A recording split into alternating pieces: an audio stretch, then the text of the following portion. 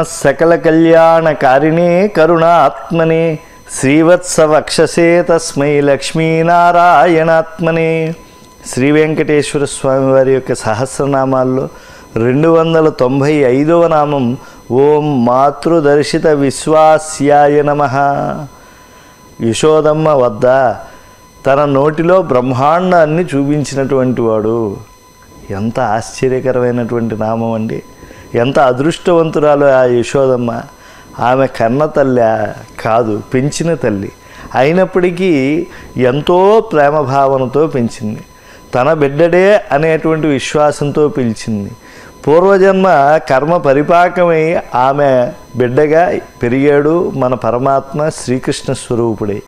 అటువంటి తల్లి ఎంతో శ్రద్ధతో ఆ బిడ్డను పెంచుతూ ఉంటే ఆ బాల్య చేష్టితములు కొన్ని ఉంటే కానీ తల్లికి ఆనందం కలగదు కదా. ఇలాంటి అల్లరి చేశాడని తల్లి చెప్పుకోవడంలో ఒక ఆనందం ఉంటుంది ఒక ఆత్మవిశ్వాసం ఉంటుంది ఒక సౌందర్యం ఉంటుంది. మాతృత్వానికి ఒక పరమావధి అయినటువంటి ఒక లక్షణం అందులో నిబిడీకృతమై ఉంటుంది. ఎందుకంటే పిల్లవాడు అల్లరి చేయకపోతే వాడు పెద్దవాళ్ళ ప్రవర్తిస్తూ ఉంటే వాడిని భగవంతుడే అని అనుకుంటే అందులో ఆనందం ఏమీ ఉండదు.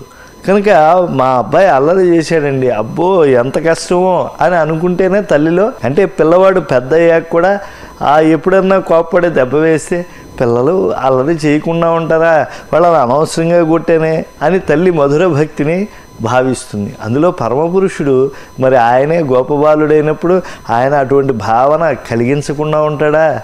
యశోదమ్మ ఏదో పనిలోకి వెళ్ళింది. ఎప్పుడూ కృష్ణుడి మీదే ఉంటుంది.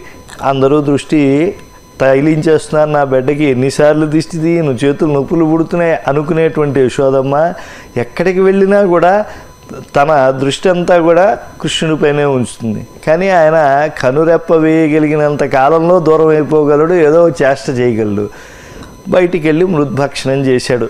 మామూలుగా పిల్లలు ఏ వస్తువు దొరికితే అది నోట్లో పెట్టుకుంటారు. ఆ పళ్ళు వచ్చేటువంటి సమయంలో బాలకులకు కలిగేటువంటి భావన అది. మట్టి తిన్నాడమ్మా అని చెప్పి పెద్దవాడైన బలరాముడు పరుగు పరుగును వచ్చి యశోదమ్మకి చెప్పేశాడు. యశోదమ్మకి వెంటనే కోపం వచ్చి ఎరా మట్టి తిన్నావా నువ్వు? అంటే తినలేదమ్మా. ఏది? చూపించండి. వెంటనే పరమపురుషుడు నోరు తెరిచాడు.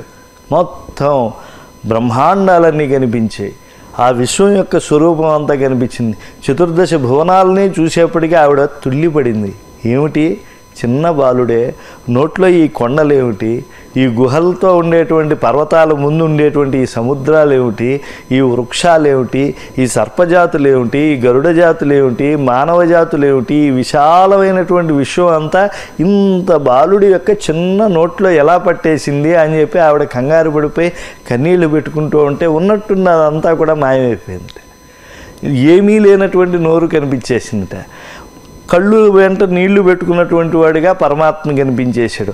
ఆ ముందు చూసిన భావనంతా కూడా పోయేట్టుగా కూడా చేసేసాడు ఆశ్చర్యం చూడండి వెంటనే బలరాముడే అసత్యం చెప్పాడేమో ఈయన మృద్భక్షణ చేయలేదేమో అనవసరంగా ఏడుస్తున్నాడే అని చెప్పి పసిబాలుని తీసి నాన్న నువ్వు మట్టి తినవురా. అనవసరంగా నేను నేను నిన్ను చెవి పెట్టి మెలిపెట్టాను నువ్వు ఏడిచావు. అని చెప్పి పాపం హక్కుని చేర్చుకుని ఆ తల్లి కూడా రోధించింది. ఏమిటి దీనిలో ఉండే స్వారస్యం? అనుభవిస్తే కానీ ఆంతర్యం తెలియదు.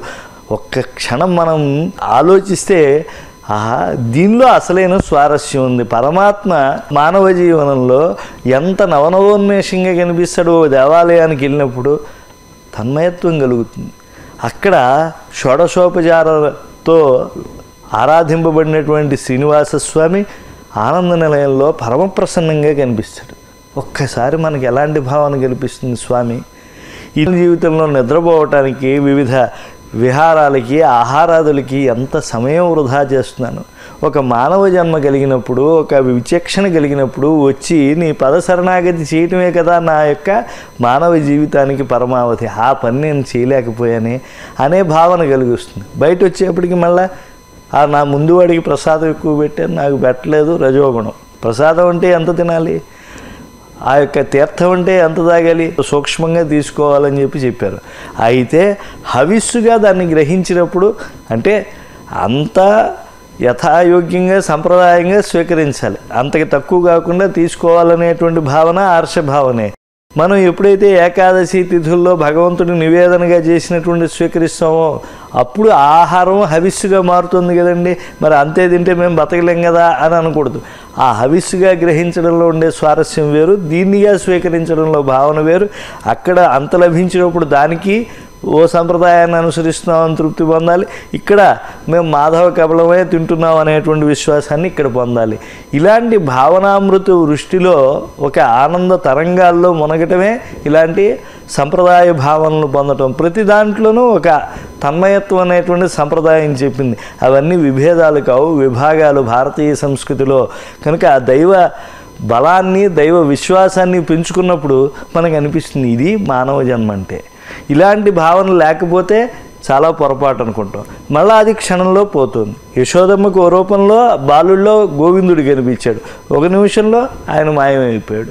కనుక సర్వేంద్రియ నియామకుడైనటువంటి మాయలో మనం పడకుండా సంపూర్ణమైనటువంటి భగవద్ విశ్వాసం పొందాలి అని అంటే యశోదమ్మ పొందినటువంటి భ్రాంతిని మనం కూడా పొందుతూ ఉన్నాం. మన అంతర్యామి అయినటువంటి పరమాత్మ మనము మాతృత్వ స్థానాన్ని పొందేట్టుగా చేస్తున్నాడు. కనుక ఆ తల్లి ఎలా భ్రాంతి పొందిందో మనం అలా భ్రాంతి పొందుతున్నాం. ఆ తల్లి ఎలా తరించిందో నిరంతర కృష్ణస్మరణ చేత మనం కూడా అలా తరించాలి అనేటువంటి గొప్ప భావన ఇచ్చేటువంటి నామం. ఓం మాతృదర్శిత విశ్వాస్యాయ నమ అనేటువంటి ఆ నామాన్ని తలుచుకుంటే ఆ యశోదమ్మ సన్నిధిలో నోట్లో లోకాలను చూపించినటువంటి లోకేశుడు మనకు అంతర్యామిగా నిలిచి సర్వకాల సర్వావస్థల ఎందు ఆయన్ని ఎందు విడివడేటువంటి భావం లేకుండా చేసి మోక్షాన్ని మనకు కటాక్షిస్తాడు. అటువంటి మహనీయమైనటువంటి నామామృత ధారలో రెండు వందల తొంభై ఆరో నామం ఓం ఉలూఖల నిబంధనాయ నమ. చూడండి చిక్కడు శృతి కౌగిట ఎంతో విస్తారమైనటువంటిది వేదం భగవంతుని ఉచ్ఛ్వాస రూపమైనటువంటి వేదం ఆ వేదము చేతే కట్టుబడినటువంటి వాడు. అలాంటి వాడు ఋషులు ధ్యాన సమాధిలో వేలాది సంవత్సరాలు ఆరాధిస్తే ఒక తేజోరూపంగా కనిపించి కనిపించినట్టు ఉండేటువంటి వాడు. అలాంటి వాడు యశోదమ్మ యొక్క భక్తికి లొంగిపోయాడు. చాలా ఆశ్చర్యకరమైనటువంటి అంశం. ఎందుకంటే ఈ నామం ఒక్కటి పట్టుకుంటే భగవంతుడు మనం విడివడనటువంటి స్థితిలో ఉండేటువంటి స్థితికి తీసుకెళ్ళిపోతాడు. ఆవిడ ఒక రోటికి కట్టేయాలి అని అనుకున్నది. ఎందుకంటే బాలుడు అప్పుడే పాలు తాగాడు. పాలు తాగి మళ్ళీ అక్కడ ఉండేటువంటి కొన్ని పాలని ఆయన స్వీకరించాడు. కొన్ని స్వీకరించాక ఆవిడేదో పని మీద బయటికి వెళ్ళింది ఇంతట్లో ఆవిడ పెద్ద కుండలో ఆ యొక్క మరగ కాగినటువంటి పాలతో ఏర్పడినటువంటి మీగడి పెరుగును ఆవిడ మదనం చేస్తుంది. మామూలు కుండ అయితే మనం చేత్తో ఏదో కవ్వంతో ఇలా చేయవచ్చు. స్తంభం మధ్యలో అనుబంధం చేయబడినటువంటి రజ్జువుతో కూడినటువంటి దాంతో చేస్తుంది అని అంటే ఎంత పెద్ద కడవలో ఆవిడ ఆ యొక్క మదనము చేత వెన్నను తీసుకురావాలని ప్రయత్నిస్తున్న అంత కుండలో అన్ని కాగిన పాలతో ఏర్పడినటువంటి ఆ యొక్క మేగడ పెరుగు కుండను పగలగొట్టేశాడని. వచ్చి చూసిన తల్లి చాలా కోప్పడింది. వాళ్ళు వీళ్ళు చెప్తూ ఉంటే నేను నమ్మలేదు. ప్రత్యక్షంగా ఇప్పుడు నా ఇంట్లో కొండ నేను పగలగొట్టావు. ఎంత వదరుతనం నీకు ఈ చిన్న వయసులో? ఇంతటి వదరుతనం ఈ పిల్లవాడికి ఉండొచ్చా కోపం వచ్చేసి ఎలా అయినా సరే నిన్ను కట్టేస్తాను అని చెప్పి వెళ్ళి రోటికి కట్టాలని చూసింది. చూసేప్పుడు పరమపురుషుడి దగ్గరికి వచ్చేప్పటికి కర్మసూత్రం ఎక్కడ నిలబడుతుంది? కట్టేయాలంటే దొరుకుతాడు ఆయన? ఎంత తాళ్ళు తెచ్చినా కూడా సరిపోవడం లేదు. అంతకంతకి తక్కువ అవుతుంది. అంతకంతకి తక్కువ అవుతుంది. ఆవిడ జుట్టు ఊడిపోయింది. బొట్టు చెదిరిపోతుంది చెమటతో. తల్లి యొక్క చేష్టితములు చూస్తే పరమపురుషుడు కదా ఆయన. ఒక జీవుని వేదన చూస్తే కరిగిపోతాడు కదిలిపోతాడు తాను లొంగిపోతాడు. భగవాన్ భక్తవత్సల లొంగిపోయాడంతే. ఆ యశోదమ్మ చేత ఆ రజ్జు చేత పెంచుతూ ఉంది కదా ఇంకా అలసిపోయిందమ్మ అని చెప్పి కట్టించేసుకున్నాడు ఆయన. అప్పుడు ఆయన దామోదరుడయ్యాడు. ఆ ఉలూకల నిబంధనం అయ్యాడు అంటే అర్థం ఏమిటి? ఆయన ఇంకొక రాక్షసుల్ని ఆ యొక్క స్థితిలో తొలగించి పరిరక్షించాలి అని అనుకుంటున్నాడు అనేటువంటిది భాగవత కథ. అంతేకాదు భక్తికి లొంగిపోతాడు అనేటువంటిది మనం ఆ ప్రకృత సన్నివేశంలో దర్శించాలి. యశోదమ్మ భక్తి చేత ఆయన బద్ధుడయ్యాడు. అందుకే లీలాశుక్లు వాళ్ళు అంటారు ఎందుకయ్యా మీరు అరణ్యాలు వంటి గహనమైనటువంటి ఆరణ్యకములతో ఉండేటువంటి వేదాదుల్లో మీరు వెతుకుతారు ఎక్కడా వెతక్కండి. ఉపనిషదర్థం ఉలూఖలే నిబద్ధం. ఆ యశోదమ్మ నందుని ఇంటి ముంగిట్లో రోటికి కట్టేసింది చూడండి. అక్కడ ఉంటాడు వేదాల్లో ఉపనిషత్తుల్లో ఆ బ్రాహ్మణాల్లో ఆరణ్యకాల్లో ధర్మసూత్రాల్లో గుహ్య సూత్రాల్లో భాగవతాది గ్రంథాల్లో ప్రతిపాదింపబడినటువంటి పరమసత్యం ఎక్కడున్నాడు? అదిగో రోటికి కట్టివేయబడి ఉన్నాడు. అక్కడ చూడండి చాలు. ఆ నల్లని వస్తువే పరతత్వము అని చెప్పి చెప్పేశాడు. ఆ స్వామి మెల్లిగా ఉలూఖలంగా మారిపోయినటువంటి ఆ యొక్క దివ్యతత్వం పరమాత్మ కట్టబడినటువంటి రోటికి వెళ్ళి కోల్చాల్సినటువంటి మద్ది చెట్లు రెండు ఉన్నాయి. అందులో మణిగ్రీవుడు నలకోబరుడు అనేటువంటి ఇద్దరు యక్షులు ఉన్నారు. ఆ యక్షకుమారులు ఇరువురు కూడా ఒకప్పుడు వివస్తులై స్నానం చేస్తున్నారు.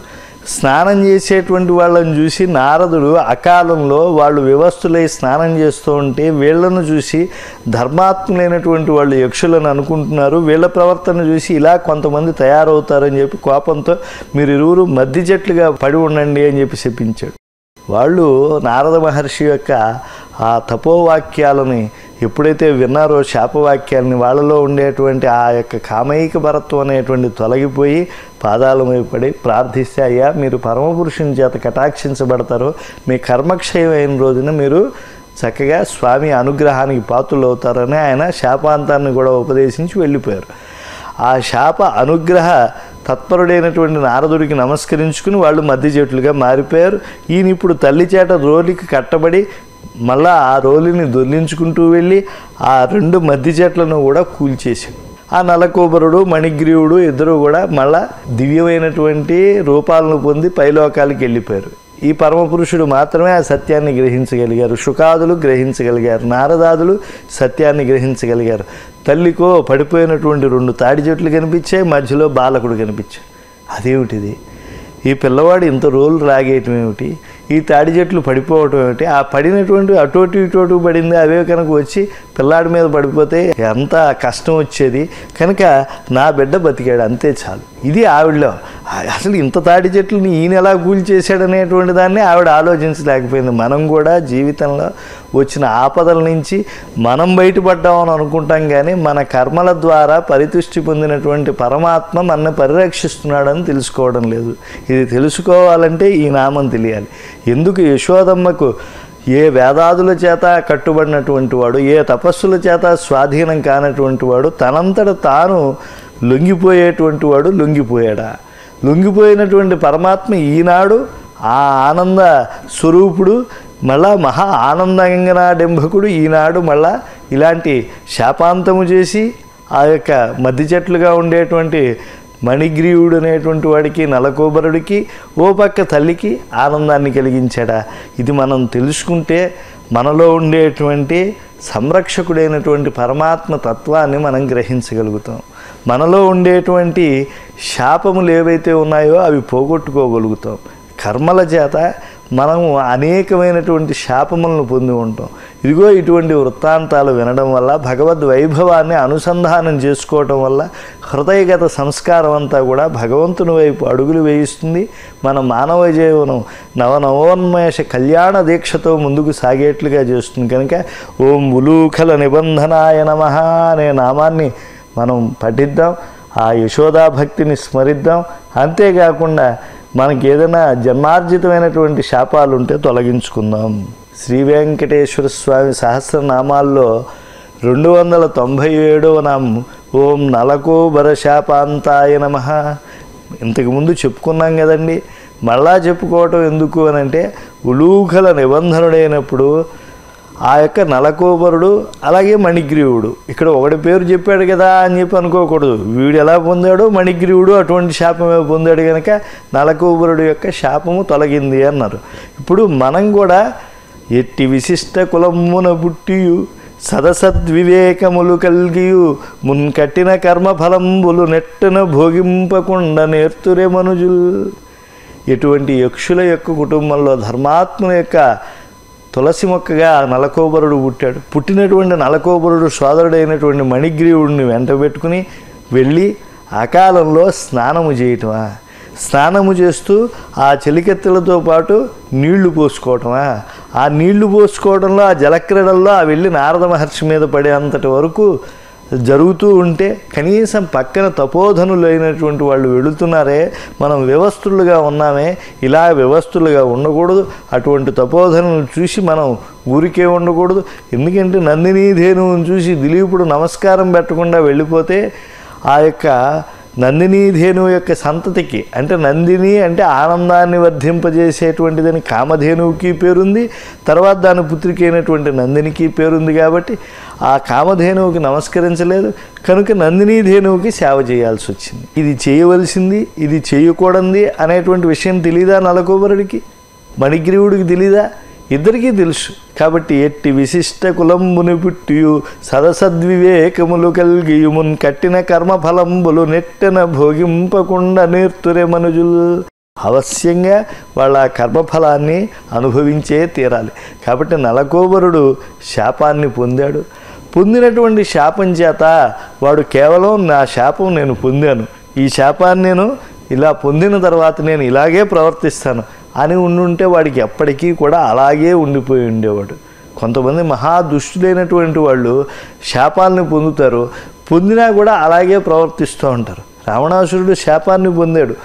కాముకుడు వై జీవిస్తే కామము చేత ఏదైనా స్త్రీని తెచ్చిపెట్టుకుంటే నీకు చేటు అవుతుంది.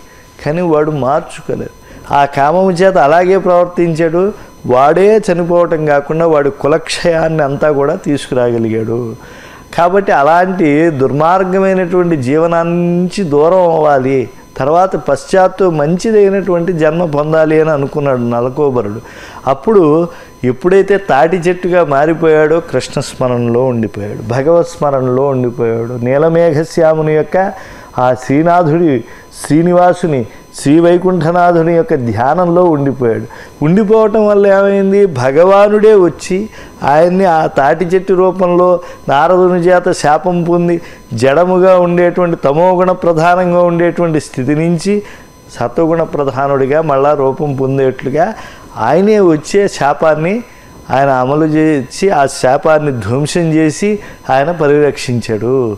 కనుక నారదముఖత వెలువడింది భగవద్వాణి. కనుక మనం కర్మ చేత మనం ఆచరించేటువంటి దాన్ని పోగొట్టుకోవాలి అని అంటే మన అభ్యున్నతిని పొందాలి అని అంటే అటువంటి నలకోపరుడు వలె భక్తితో ఉంటే ఆ నలకోపరుడి శాపాన్ని ఎలా అయితే తొలగించాడో పరమాత్మ మనం కూడా పెద్దల పట్ల తెలుసో తెలియకో చేసినటువంటి అపరాధముల నుంచి విడివడి ఉత్తమమైనటువంటి జన్మకర్మలను పొందుతాం. ఎంతోమంది మానవ జీవితంలో తెలిసి చేసేటువంటి అపరాధాలు కొన్ని ఉంటాయి. తెలియక చేసేటువంటి అపరాధాలు కొన్ని ఉంటాయి.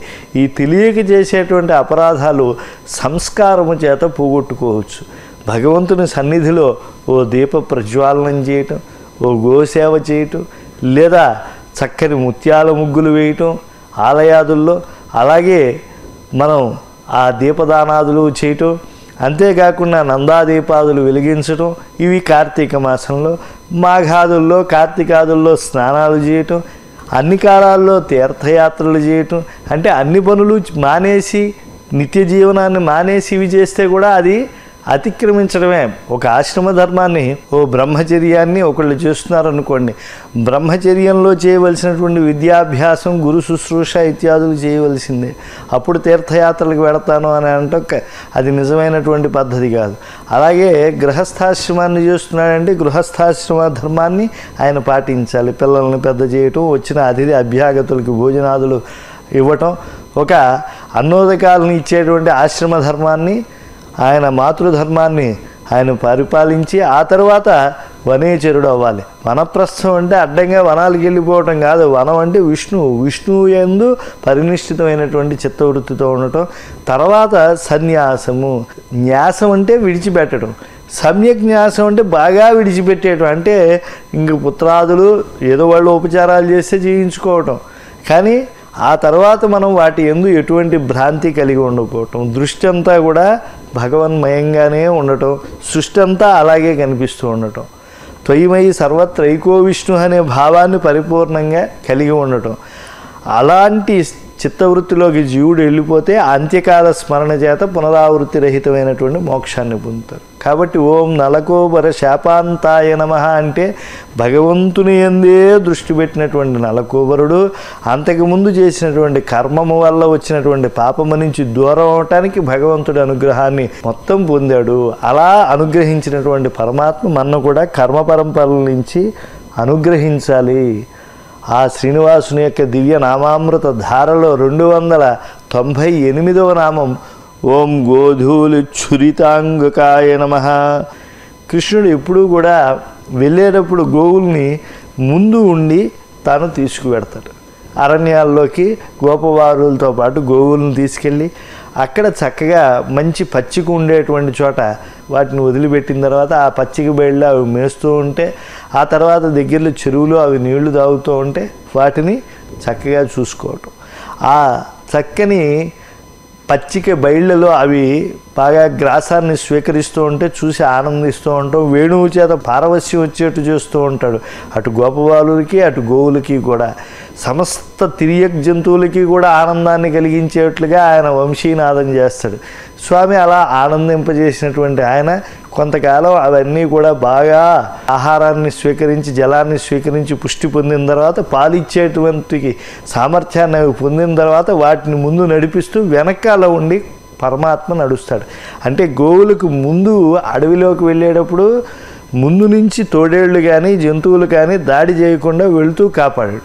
వచ్చేటప్పుడు వెనక నుంచి దాడి చేస్తాయి అవి. ఎందుకంటే గ్రామోన్ముఖంగా ఎప్పుడు రావు కదా జంతువులు అరణ్యోన్ముఖంగా వస్తాయి కదా. కాబట్టి అరణ్యంలో వెనకాల ఉండటంలో ఉద్దేశం ఏమిటి అని అంటే వెనకాల పరమాత్మ ఉండి అరణ్యంలోంచి వచ్చేటువంటి జంతువులు ఏవి కూడా ఆ గోవుల మీద పడకుండా కాపాడటం ఇది ఆయన చేస్తూ ఉంటాడు. మరి గోవులు వెడుతూ ఉండేప్పుడు ఆ గోవుల యొక్క పాదముల నుంచి ఎగిరినటువంటి ఎర్రని ఆ ధూళి అంతా వచ్చి ఆయన మీద పడుతుందట. ఆ నల్లని మేను కలిగినటువంటి స్వామి ఎర్రగా మారిపోతున్నట్ట. అరుణారుణమైనటువంటి సూర్య కిరణాలు ఓ పక్క పడుతూ ఉంటే గిట్టల చేత వచ్చినటువంటి ఆ గోధూళి అంతా కూడా ఆయన శరీరం మీద పడుతూ ఉంటే స్వామి నల్లనివాడా ఎర్రనివాడా? అని చెప్పి ఆశ్చర్యపోయారట. కాబట్టి అలాంటి స్వామిలో మనం ఏమి దర్శించాలి? ఓం గోధూళ చురితాంగకాయ నమ అంటే ఒక తిరియక్కులు తెలిసి తెలియకుండా కొన్ని అపరాధాలు చేస్తాయి. ఆ పశు సంతతి కొన్ని అపరాధాలు చే- ఆ పశు సంతతి అపరాధాన్ని ఆయన స్వీకరిస్తున్నాడు. అంటే మన బిడ్డ ఏ విధంగా అయితే పొరపాట్లు చేస్తూ ఉంటే ఆ పొరపాట్లని మనం మురిసిపోతూ ఆదరిస్తామో గోవులు అలా గిట్టల ద్వారా పంపించేటువంటి మట్టి కణాలని ఆయన తీసుకుని గోవత్సల పట్ల తన వాత్సల్యాన్ని ఆయన ప్రదర్శిస్తున్నాడని గ్రహించాలి. అంతేకాదు గో పరమ పవిత్ర స్వరూపం అని భగవానుడే మనకి తెలియజేస్తున్నాడనే సత్యాన్ని కూడా తెలుసుకోవాలి. ఎందుకంటే గోధూళి వేళ అయింది అని అనుకుంటేనే తరించిపోతారు. ఆ గోధూళి తగిలేటువంటి వేళ ఎప్పుడు? పొద్దున్న పూట కాస్త మంచు అవి కురిసి భూమి మట్టిని పైకి వెగ విరజిమ్మేట్టుగా ఉండదు. కానీ ఎండకి పరిపక్వత పొందినటువంటి భూమి ఆ యొక్క ధూళిని పైకి పంపించేటువంటి శక్తివంతం అవుతుంది. గోవుల యొక్క గిట్టలు తగిలి ఆ పరమ పవిత్రమైనటువంటి గోవుల యొక్క పాదముల ద్వారా వినిర్గతమైనటువంటి ఎగిసినటువంటి ఆ యొక్క ధూళి కణముల మీద పడితే చాలా ఆనందం కలుగుతుంది పవిత్రత కలుగుతుంది. లక్ష్మీదేవి ఆ వంశాన్నే రక్షించేటువంటి స్థితి ఏర్పడుతుంది. అటువంటి గోవుల యొక్క ధూళిని పవిత్రమైన దాన్ని మన శరీరం పైన మనం వేసుకోలేకపోయినా పరమాత్మ స్వరూపాన్ని అలా దర్శించిన గోధూళి వేళలో మనం తరించిపోతాం అనేటువంటిది ఈ నామామృతంలో ఉండేటువంటి స్వారస్యంగా మనం గ్రహించాలి. అంటే గోసంఘ రక్షకుడు ఆయనే గోసంఘం యొక్క పవిత్రతను చాటేటువంటి వాడు ఆయనే. కనుక మనం అటువంటి పరమపురుషుని యొక్క దివ్య లీలను గ్రహించడానికి ఉపాధేయంగా ఉండేటువంటి ఓం గోధూళి చురితాంగకాయ నమ అనే నామాన్ని మనం పఠిద్దాం. మన మానవ జన్మ కళ్యాణానుబంధంగా కొనసాగించుకుందాం.